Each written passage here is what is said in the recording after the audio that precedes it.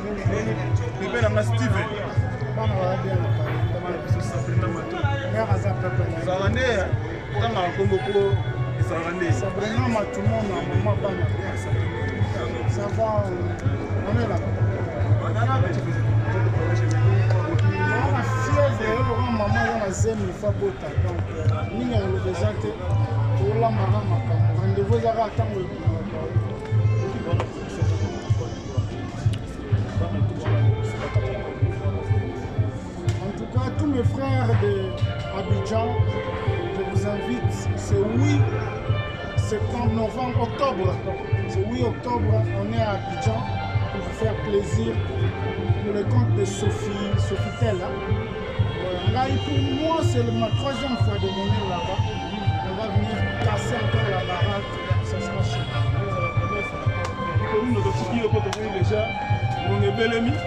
ntina ngai mosala boye eh, abinabina koko hmm. alobi bokobanda komesana sikoyo na chaîne na bino ya batele réalité johnny milongi gmtv chaîne na bino ya sikeye 100 wenge ezalaka déjà bientôt toza kokisa 100 000 abonné boya mpe kosabonne massivement na chaîne na biso johnny milongi Euh, TV, GMTV, boya wana bosa abonné. Ah, nde bando za ba télé réalité. Ba masolo ebeta mara Johnny Milongi na ba musiciens na bango ya wenge musique maison mère. Johnny Milongi na le roi de la forme. Johnny Milongi na Bicorino Makaba. Johnny Milongi na euh, Sebondo ya machine. Quant à moi lelo na na sabino moi un petit surprise. Aza bango na wa sabo. Tozoyeba te kombo nena na ba pesi ye kombo te. Roi de la forêt na pesi ye kombo te animateur na bino. Wa sabo. Zoye.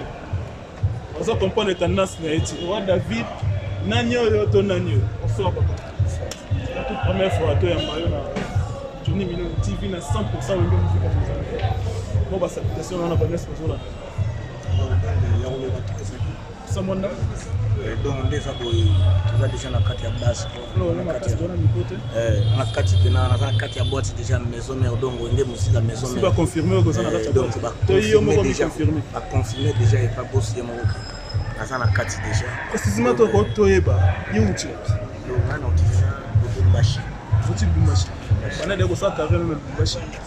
courage nini ezwaki yo le jour oyaki kondima riske wana omata na podium oyebi mosika donc kokunda mpena ya bitumba tokundaka mpena esika nga nafandaka na bandoko elanga kaka arrangement nanga ezalaki ete ndenge fe alobaki ava okota fo ozala na présence kua na bandoko ndaka na kapimbe mpena nazala na kati ya maison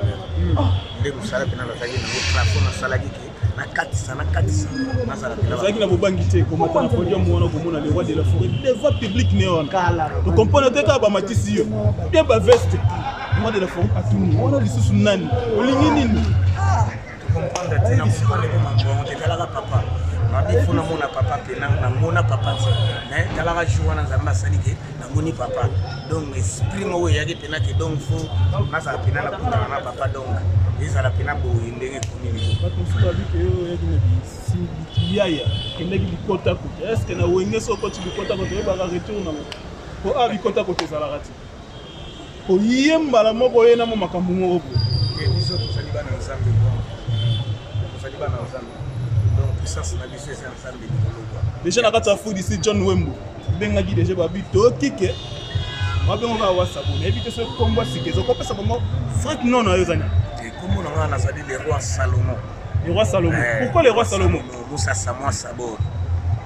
donc yo ah, donc naza roi donc naza lokola tozali na roi david yango ekomisali nga papa na bango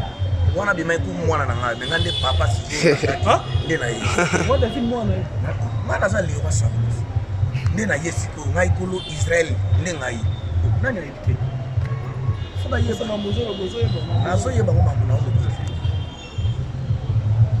nde salomo ene ezali mizika nde ngai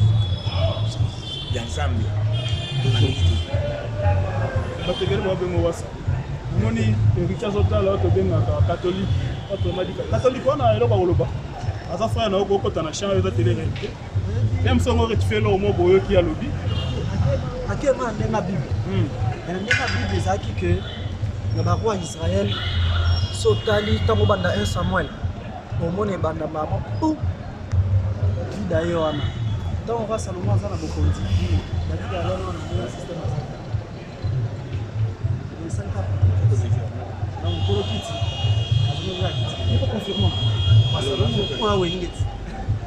le roi de la forêt so apesi da a biso nyonso tolandaka mbamo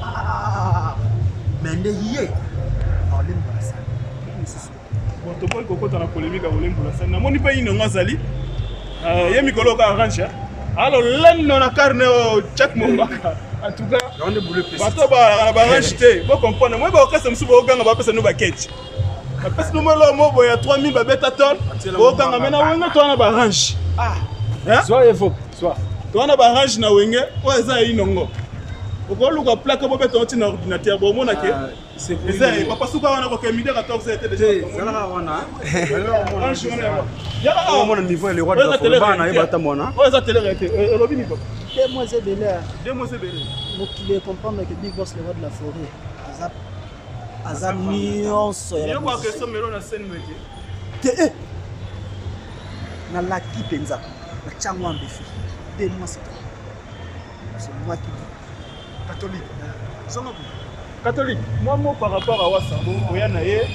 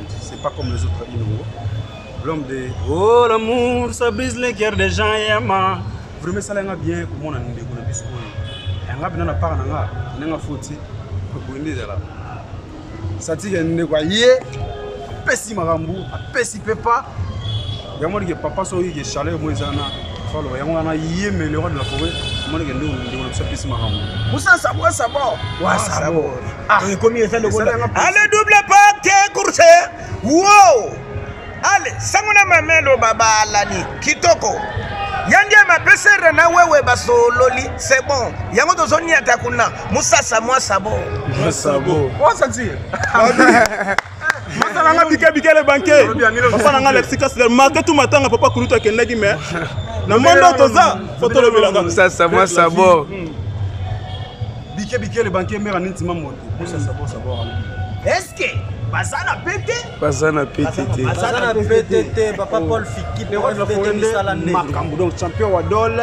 là je vois dada muzinga hein mera ni ntima mbote olongani ya tonton fili ah. talaka yo yebi wana ba mère oyo ba pesa likolo bazela bazela naza trop bokotelemisa bato ya wasa boboma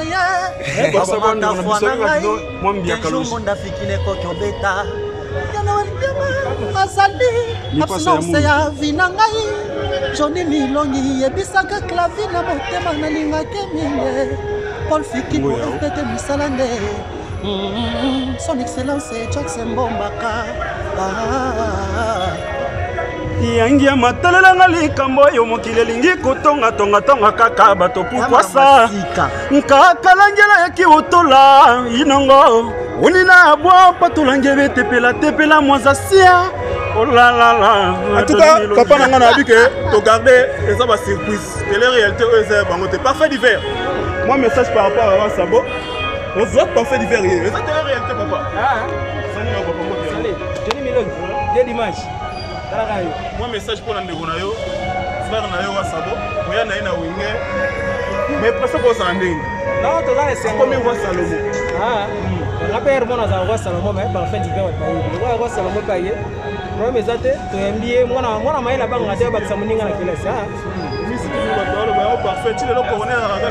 te oyo ezalaka ere moko boye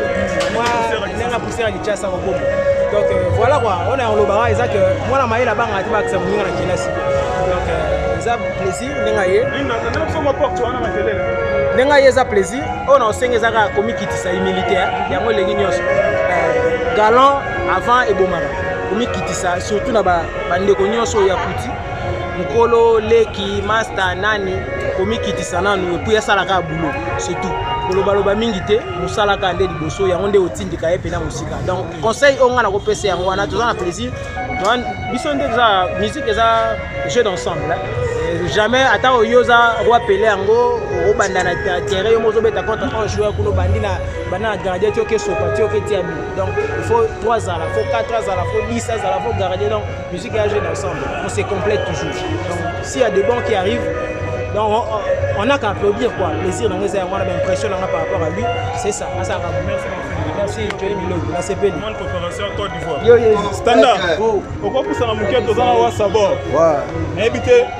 mwa message par rapport ya ndeko na bino ndenge ako integre bino na wenge musika maison mère na ndenge ya vitesse osantaki ndenge nini ntango omonaki asalaki premier teste na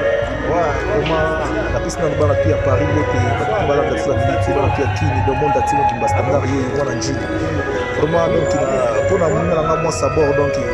toza na ye kaka elongo epuis premier jour na ye aza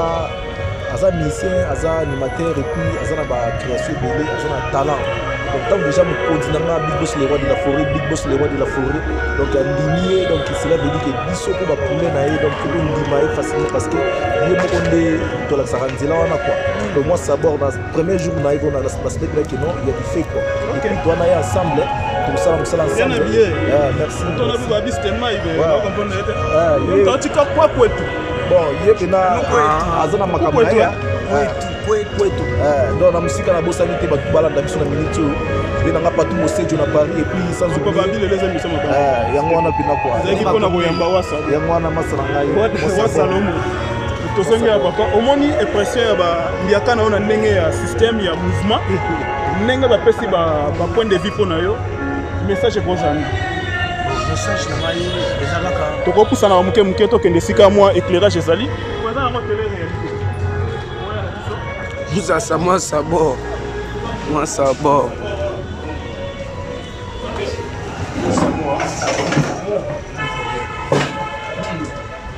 petit message par rapport omoni ndenge omoni bandeko bayambi yo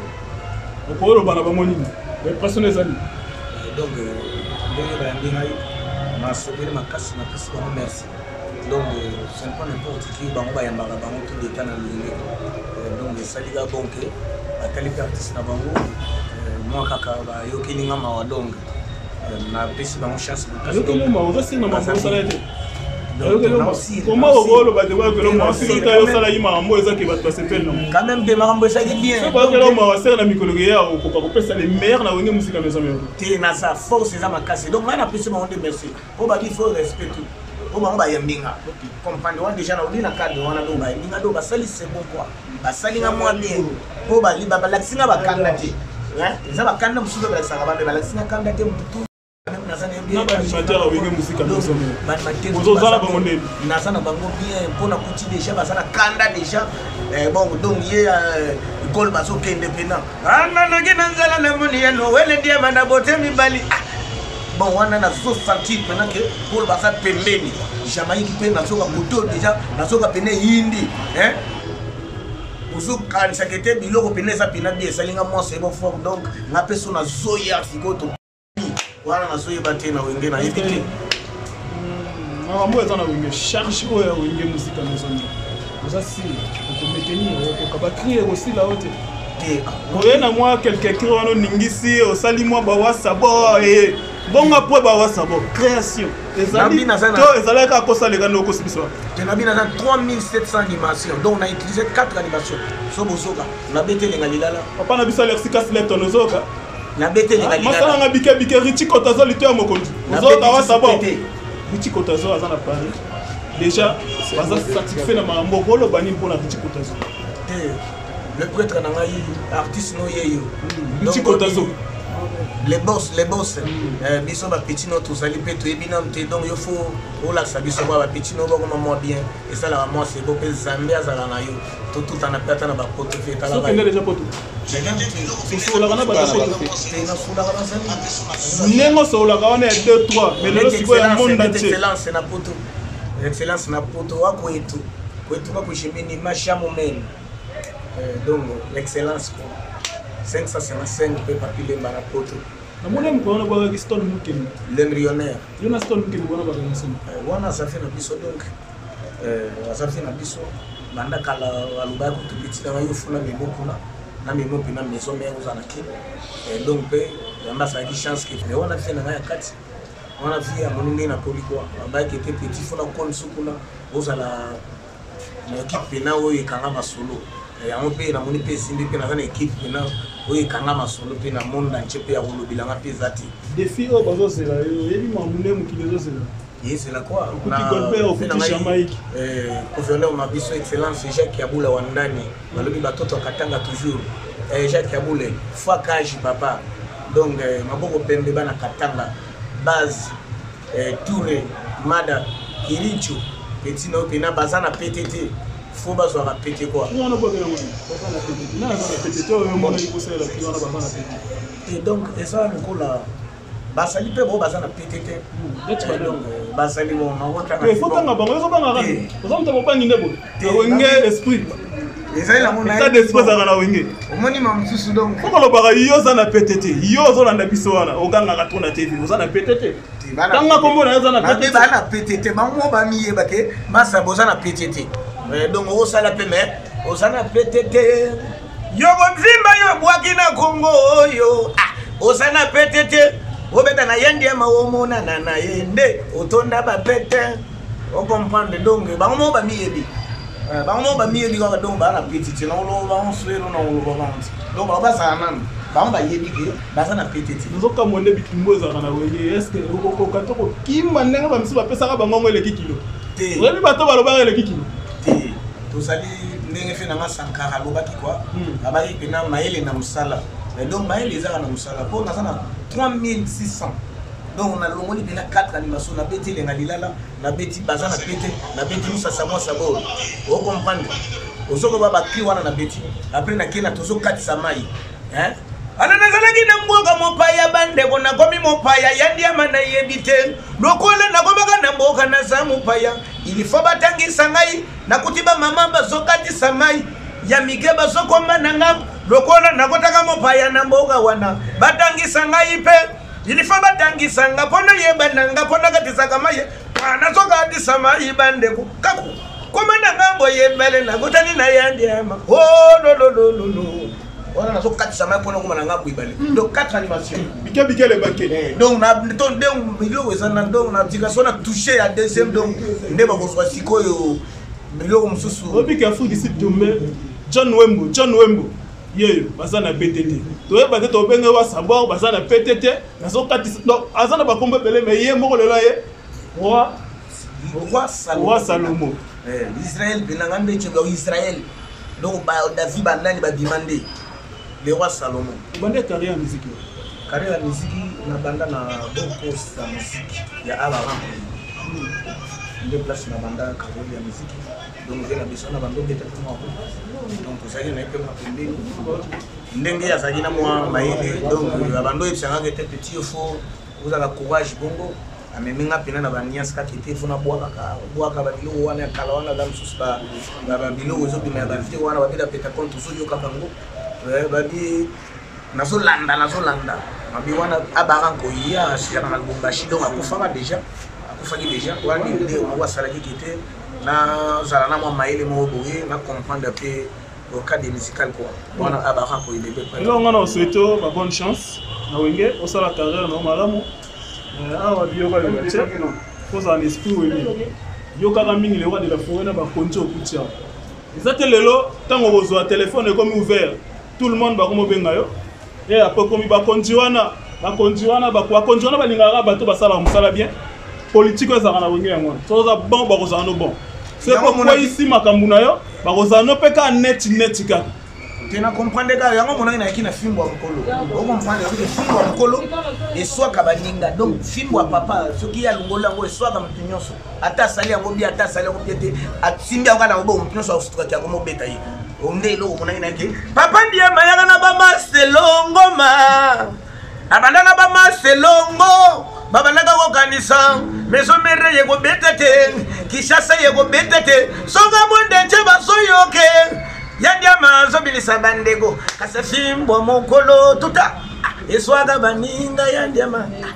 wana fimbo wana yende yango nalobaki keta eza deja eza makambo ezoya donc yango nalobi bango bayokaki te tembe wana kaka nde tokende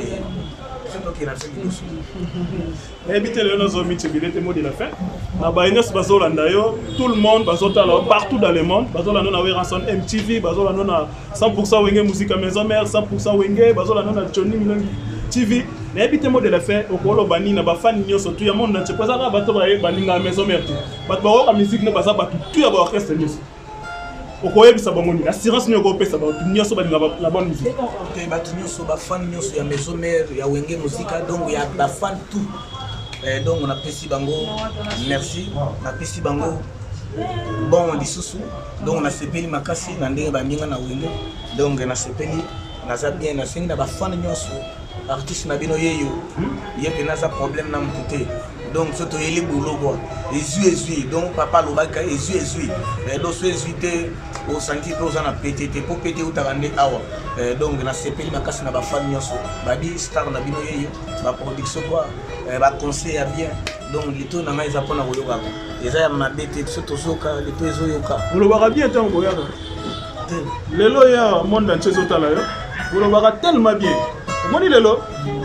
wana eza concert nano ozwi makambo tele wana elafona afongoli nzungu te afongoli piste te kozwa makambo ezaka omoni mopepe ya wenge ya concert kaka ya pamba monde atie baningani sikoyo ntango bakoso na labo lelo baimage ezotikala bato baotala yo omoi ndenge oyaki ti tolobi te koyaki mabe mwa veste no oyaki nango wana mwa nini ndenge oyaki na ndenge ya systeme lelo sikoyo le roi de la forêt akopesa mwa vision moko boye o lelo mokili mobimba eyeba yo saka solo tika matumboli awa ah, tozosola nde bosolo nde bosolo na wenge monde entier bazolanda yo maloba nini okoloba le roi de la forêt azolanda yo message nini okolanse mapa le roi de la forêt message nazopesa na papa napesi papa mpena bonne chance mpo ye azalaka deja na sens chance mpena papa na yo biso bana na yo toza nsima na yo donge tosili nano te tozali na nsima tozwa koya toyebi tozala mpe pembeni ya papa mpo olobaki deja ke ezwi ezwi eh, donc biso nsima no papa na ngai tala bana na yo bazali awa biso nde suka ya masolo ya bana na yo toya toza kaka nsima na papa napesi merci trop na mama mapata mare ya bachef eh, mama na josé mare na ngai napesi penazaki exauce na gladi mama sylvie mapata mama sylvie mapata wana mare na bomwana donc nayoka mpena na bomwana nazoka bazole mama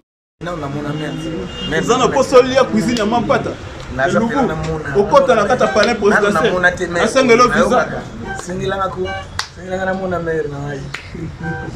merci wana ezalaki bongo roi salomo tokomi na suka ezalaki juste un petit tele réalité bomoni bandeko nde bayambi ye omoni bato tu nde bambi yo ça se passe comme ça ici na wenge tozalaka bongo lelo tosongoli ye motema toyebi ke lobi mwa ba kazaka mosusu eyaka me tosuete yango te mpo eza nango mona miziki kenge activité ezalaka nango mpo ngai alobaka nanga bosolo eh. donc na ndenge ya système okutani bongo na mbala nsima na nimero oyo tokobongisela bino spécial wasabo na ndenge ya répétition joyeux anniversaire alexis cas en tout cas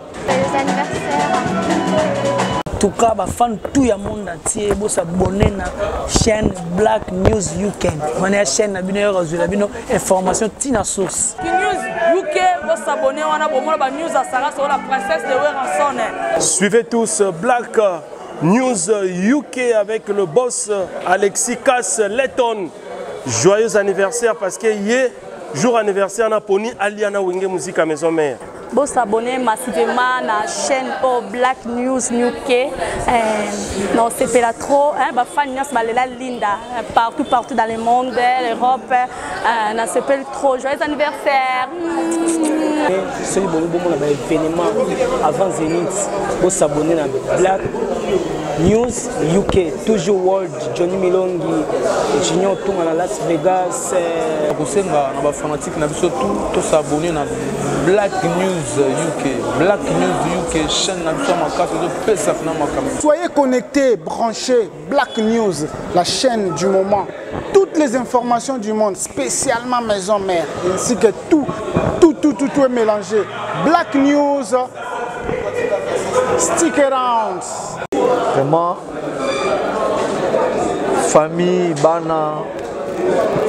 donc euh, mpe ezala famille bafere na yo ezala bien ekende ekende malamu epuis euh, biso topreparaka mpona concert ya zénith